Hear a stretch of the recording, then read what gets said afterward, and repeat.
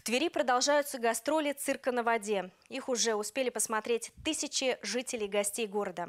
В этот вторник у артистов были необычные зрители. Дети-инвалиды, пациенты больниц, воспитанники детдомов и других специализированных учреждений. Репетиция на гастролях в перерывы между представлениями – нормальное дело для артистов цирка. В том числе и для Шевченко-шоу. Но это была особенной. Она прошла на глазах у зрителей. Детей с ограниченными возможностями, воспитанников детских домов, реабилитационных центров из Твери и ряда муниципалитетов Верхневолжья. Всего несколько сотен человек. В каждом городе мы делаем вот такие показы с разъяснениями, с объяснениями, с остановками, э, с ответами на вопросы, потому что это, я считаю, очень важно. Мы стараемся побольше охватить и таких детей, чтобы они участвовали во всей нашей жизни, как и нормальные полноценные дети. Эта репетиция действительно была необычной по многим параметрам. Андрей Шевченко и его коллеги время от времени делали паузу, чтобы ответить на все вопросы юных зрителей, а также их родителей.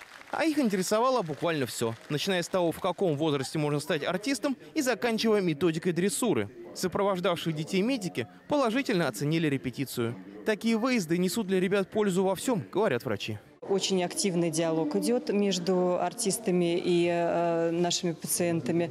Э, задаются вопросы, получают ответы, э, куча аплодисментов, улыбок, смеха. Ну, я считаю, что ну, такой позитивный заряд. Ну а остальные тверичане могут получить такой же позитивный заряд от обычных представлений Шевченко-шоу. Его гастроли продолжаются, тем более, что цирк и сейчас работает в полноценном режиме.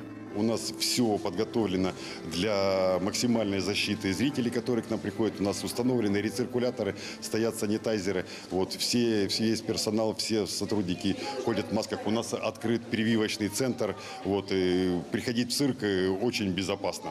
И не забывайте, что согласно требованиям Роспотребнадзора в цирке действует шахматная рассадка, поэтому количество мест ограничено. Для детей до трех лет вход бесплатный.